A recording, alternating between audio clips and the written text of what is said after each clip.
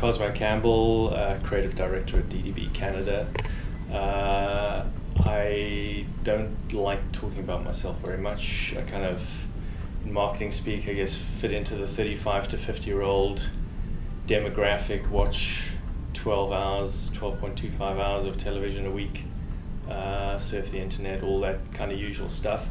I grew up in Cape Town in South Africa, um, have been in the industry for 20 uh, something years. Um, worked in the Middle East, in the UK, and then came to Van- Vancouver and have been here for about 15 years.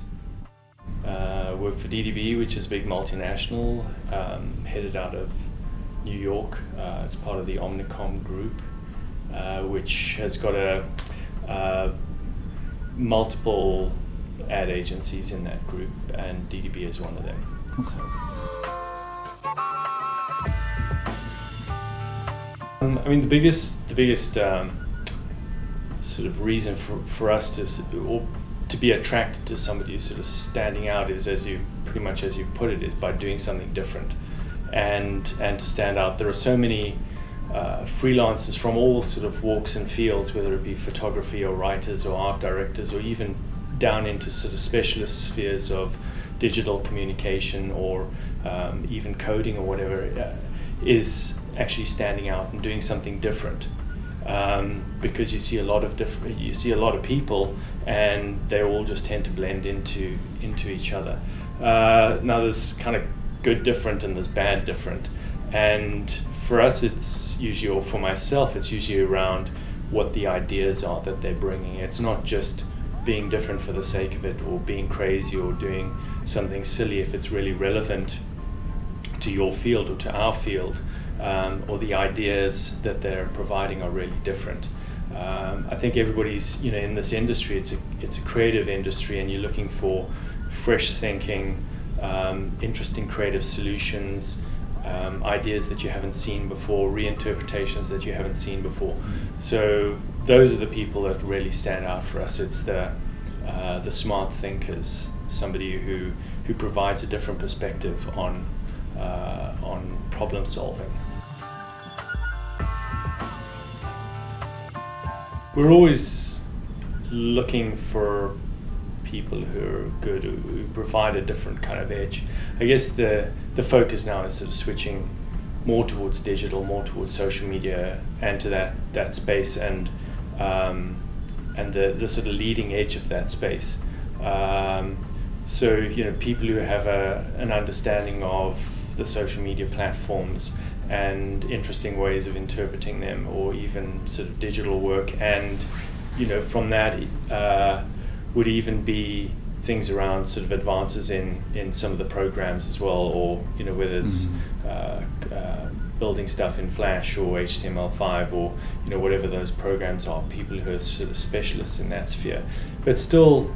Uh, you know, it's it really goes back to again the the thinking and the ideas, and it, you know, back to some of the more traditional areas as well. It's it's the writers, it's the art directors, it's uh, pretty much everyone out there. We, we try not to uh, focus too much in one area and say that's where the solutions are going to be. It's more, I think the the key for us moving forward is that it's still around the idea and who mm-hmm. has the best ideas, and it doesn't really matter which which field they're in. If they're good thinkers, they can be adapted over. Uh, so that's it. But there's definitely, you know, a lot of people who are coming out of college or a lot of sort of the fresh thinkers are uh, more in tune with the digital space and where that's going.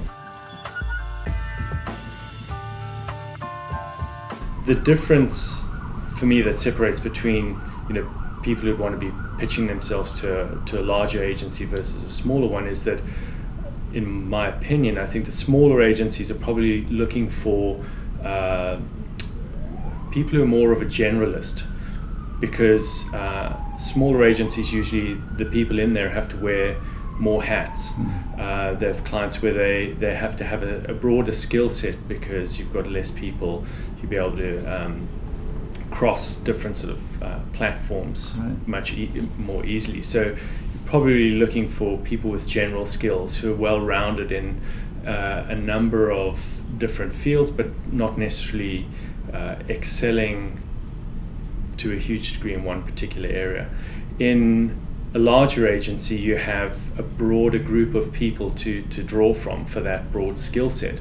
So, what we tend to look for are, are specialists. We've got a lot of people who can do the broad thinking. Mm-hmm. Um, it's more executional specialists, so somebody who's a really great thinker in one area.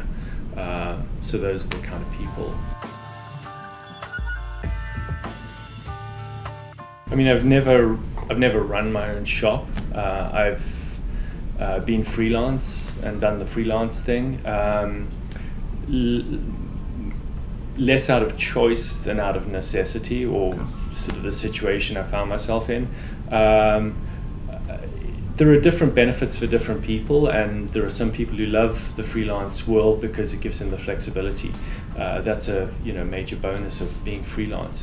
For me, um, I'm not very good at the at again to be a great freelancer. You need to be more than just uh, able to do the work. You need to be able to um, uh, you know contact with people, and you need to do the bit of the hustle. You need to do all the billing, and you need to do all your own sort of tax stuff and all of those kind of things. So it's a lot more than just doing the work.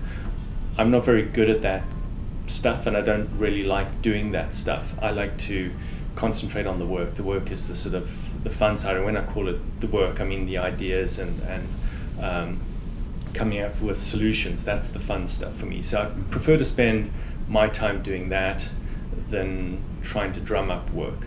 Um, uh, you know, on the other hand, here it's when you're working in a in an environment like this, you're you're um, you're mixing with a lot of really smart people at the same time, and I enjoy that being able to bounce ideas off people, being able to sort of feed off their creative creativity and give back as well. Where when you're in the freelance world, world you're uh, sometimes working in isolation, which mm-hmm. which some people really like, but for me, um, I'm, I'm not a big fan of that.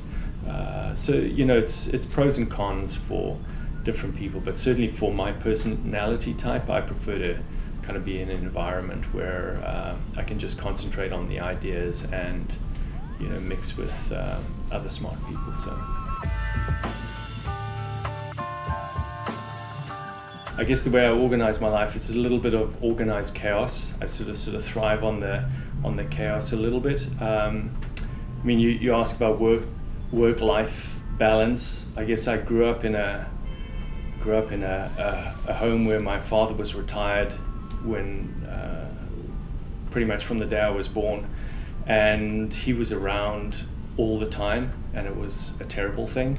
Um, I kind of wished that he had gone off to work and uh, been away from us for some time. So, uh, you know, maybe that's part of the motivation for me, or not motivation, but it at least uh,